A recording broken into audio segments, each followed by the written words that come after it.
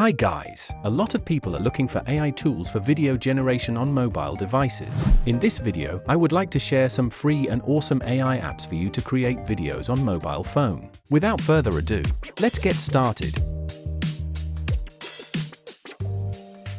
The first one is Kling AI, which is known for its high-quality generation. There are 166 free credits every month. We can tap the plus icon on the middle bottom to start creating. Tap image to video. It supports first frame and end frame. I am using this cat image for example. You may enter the prompt to better describe the details you want or just leave it blank. Then tap generate, and here is the video it creates.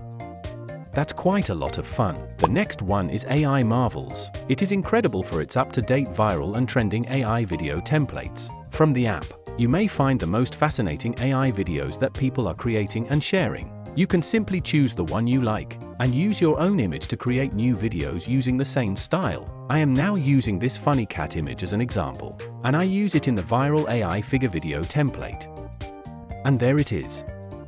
Pretty cool and funny to share it with friends.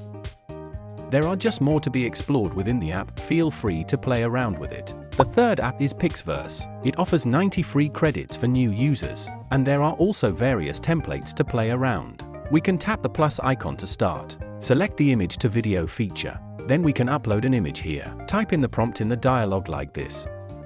Tap Create. When completed, we have successfully create the video from image.